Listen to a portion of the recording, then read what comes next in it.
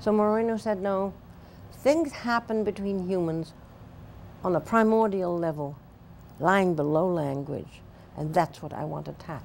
And it's the language, it is the language of the body and the psyche. It is action and interaction. Imagine that we suddenly were in, in the Tower of Babel. By the way, I think it should be called the Tower of Babble.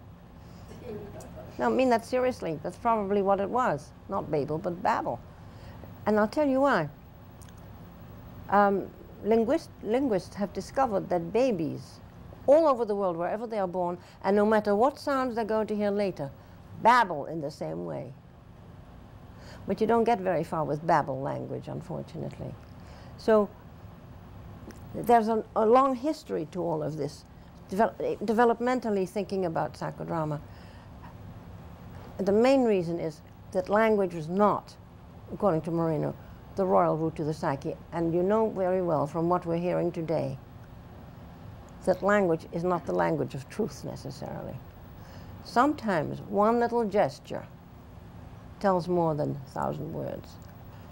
Now these three functions, most auxiliary egos can learn pretty fast, but there are really two more which are just built upon these three. The fourth is to try and, in interaction if possible, to interpret what you have just learned about this person in action. I found a way to do this by saying, in the role of a mother, for instance, the accused mother, I've never told you this before, but, and out will come, I'm really jealous of you. You have a chance for a better education. I was a child of depression. You have opportunities I've never had. Besides, I'm supposed to know more than you are. You're my, you're my child and I'm feeling I'm losing ground. So I'm going to hold on to what I know as tightly as I can. Now, sometimes the protagonist would say, my mother would never say that. And the director said, no, of course not. That's why we're doing it in psychodrama. Or, we don't re replicate life. We go beyond life as it is.